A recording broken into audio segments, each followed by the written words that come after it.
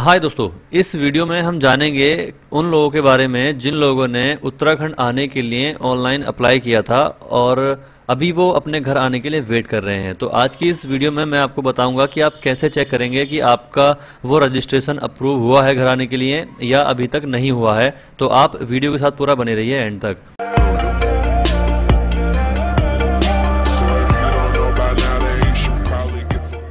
तो अभी मैं आपको लेकर के आया हूँ उस वेबसाइट पर या उस लिंक पर आप कह सकते हैं, जहाँ से आपको ये चेक करना है कि आपका रजिस्ट्रेशन जो हुआ था वो अप्रूव हुआ है घर आने के लिए या अभी तक नहीं हुआ है या जो भी कंडीशन उसके साथ हुई है वो आपको कैसे पता चले। तो आपको करना क्या होगा? देखिए, यहाँ पे आपको वीडियो वीडियो की डिस्क्रिप्शन में दिए हुए लिंक पे क्लिक करके आपको इस सेम वेबसाइट पर पहुँच जाना है और यहाँ पहुँचने के बाद आपको एंटर करना है एप्लीकेशन नंबर और रजिस्टर्ड मोबाइल नंबर। और आपको एप्लीकेशन नंबर कहाँ से मिलेगा? ये एप्लीकेशन नंबर आपको आपके मोबाइल नंबर पर ही जब आपने रजिस्ट्रेशन किया था, उस टाइम पर आपको दिया गया था। साथ में एक पीडीएफ भी आपको दी गई थी। दोनों ही जगह पर आपका एप्लीकेशन नंबर लिखा रहेगा और वही आपको रजिस्टर्ड मोबाइल नंबर यहाँ पर एंटर करना है, जिस पर आपका रजिस्ट्रेशन के टाइम पर ओटीपी आया था। ठीक है? दोनों चीज़ें समझ गए होंगे। चलिए, मैं आपको यहाँ पे कुछ डिटेल मेरे पास है एक कैंडिडेट की, मैं यहाँ पे उसकी कुछ डिटेल को यहाँ पे फिल करता हूँ और हम जो है जानेंगे कि किस तरह से आगे प्रोसेस करनी है। तो चलिए, फटाफट से यहाँ पे हम उसका डिटेल एंटर कर देते हैं। सबमिट पे क्लिक करते ही कुछ सेकंड में आपका ये प्रोसेस हो जाएगी और सर्च करने के बाद यहाँ पे आपको पता चल जाएगा कि आपका पास जो है अप्रूव हुआ है नहीं हुआ है। देखिए, इस कैंडिडेट की अगर हम बात करें तो इनका पास जो है वो बना दिया गया है अप्रूव कर दिया गया है। पीडीएफ के रूप में आपको ये दोबारा से मिल जाएगा। आपको इसको जो है सेव कर लेना है अपने डेस्कटॉप में या आपके मोबाइल फ़ोन में।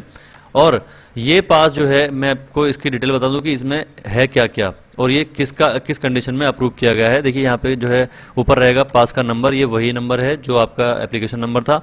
उसके बाद नाम रहेगा कैंडिडेट का और यहाँ पे जो थर्ड ऑप्शन है वो है आरोग्य सेतु ऐप का स्टेटस।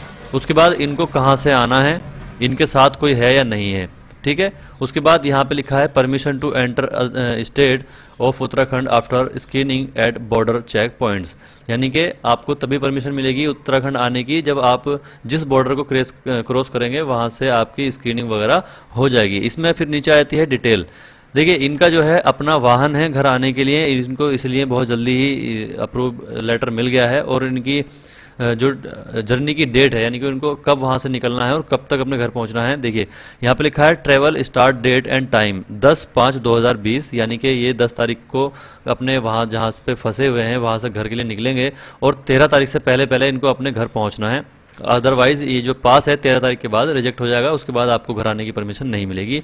एंड लोकेशन भी इसमें लिखी है और नीचे जो इसके रूल्स और रेगुलेशंस हैं, वो यहाँ पे बहुत ज़रूरी हैं, आपको समझना बहुत ज़रूरी है। यहाँ पे लिखा है he she will have to undergo a mandatory 14 day quarantine यानी कि आपको 14 दिन का क्वारंटाइन लेना बहुत ज़रूरी है। उसके बाद इसमें जो मेन पॉइंट है, वो ये लिखा है you are requested to bring a medical screening certificate with you without that you are not allowed to enter the state मतलब कि जब आपकी स्क्रीनिंग होगी तो वहाँ पे वहाँ से आपको जो स्क्रीनिंग का सर्टिफिकेट है, वो आपके साथ लेना ज़रूरी है। अगर आपने खाली स्क्रीनिंग करा दी और वहाँ से सर्टिफिकेट नहीं लिया, तब आपको आपके उत्तराखंड स्टेट में घुसने की परमिशन नहीं दी जाएगी। तो इस तरह से ये सारी की सारी डिटेल आप इसमें देख सकते हैं। और कुछ कैंडिडेट ऐसे हैं जो बाहर फंसे हुए हैं और वो बस वगैरह से आने का वेट कर रहे हैं तो वो वहाँ पे अभी पेंडिंग फॉर अप्रूवल दिखा रहा है। मैंने वो भी चेक किया था। तो उसमें आपको टेंशन लेने की ज़रूरत नहीं है, थोड़ा सा वेट करना है।